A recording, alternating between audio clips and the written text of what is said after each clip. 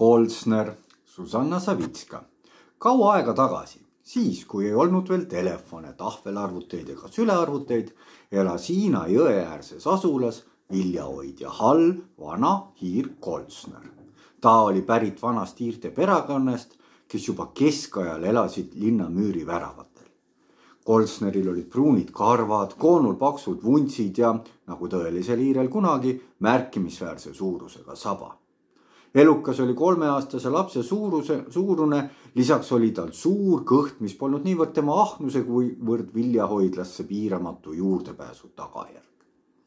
suur kõht põhjustas Kolsnerile tihti probleeme, muuseas pidi ta oma lemmikpüktesse närima kõhutarvis suure augu ning samuti pidi ta pidevalt suurendama oma viljahoidja aluse uru sissepääsu. Kolsner oli loomasõbralik, eriti meeldisid talle hobused, aga ta kartis õudselt inimesi igal öösel nuuskis viljahoidlas ning mõnikord julges ta ka välja minna. siis istus ta Hiina jõe kaldal ja mõtiskles oma esivanematest ning sellest, et ta on oma perekonna viimane esindaja. varahommikuti, kui inimesed saabusid, lukustas hiirend oma urgu. Kolsner elas rahulikku ja jõukat elu, kuni ühel päeval kõik muutus. ühel sügisõhtul jäi viljahoidlasse ööbima üks kaugelt tulnud noormees ta seadis end seina ääres sisse ja jäi unetulekut oodates mõttesse. siis nagu igal õhtul tuli Kolsner julgelt oma urust välja ja hakkas vilja metallist ämbrisse korjama. seda tegi ta öösiti ikka, et oleks mida järgmine päev nosida. Kolsner oli harjunud, et ta on öösiti viljahoidlas üksinda ega toimetanud eriti vaikselt. tukkuv noormees aga kuulis kolinat ja hiilis vaikselt hääle suunas ja kui ta siis nägi hiigelsuurt tiirt näritud aukudega pükstes, jooksis ta kõvasti kisendades viljahoidlast välja. appi karjudes äratas ta terve asule ja rääkis kõikidele uskumatust elukast, kes tahtis teda rünnata. elanikud alguses ei uskunud võõrast, aga nähes tema ehedat hirmu, otsustasid nad asja uurida relvastatud asunikud hakkasid viljahoidlalt läbi otsima, nad vaatasid igasse nurka ja prakku, kuni avastasidki sissepääsu Kolsneri urgu. Nad said aru, et tegemist ei ole tavalise hiirega, linnakodanikud otsustasid ohtliku olendi kinni püüda ja asulast välja viia. mõne aja pärast pääsesid nad urgu sisse ja otsisid selle põhjalikult läbi.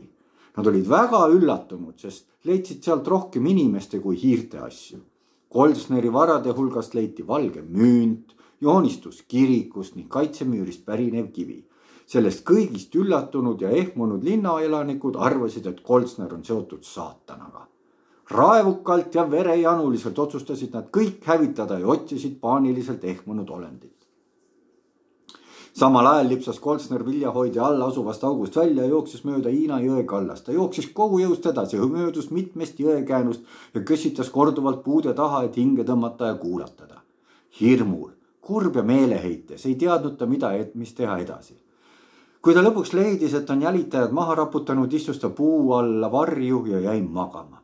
ta nägi unes oma pere, ema, kes küpsetas kooki ja isa, kes luges talle muinasjuttu. järsku ärkas ta koerte haukumise ja inimeste karjumise peale, nad olid tema jäli jälitajad polnud kaugel, agressiivsed koerad olid juba kohe tema saba taga. Koltsneril ei olnud kuhugi enam peitu pugeda ja ta hüppas jõkke tõjus Ooderi jõe poole ja kadus jõe sügavustesse. sellest hetkest alates pole temast midagi kuuldud. siiamaani ei teagi keegi täpselt, kas hiigelõhir hukkus sel päeval või mitte. mõned arvavad, et ta ei suutnud jõevooluga võistelda.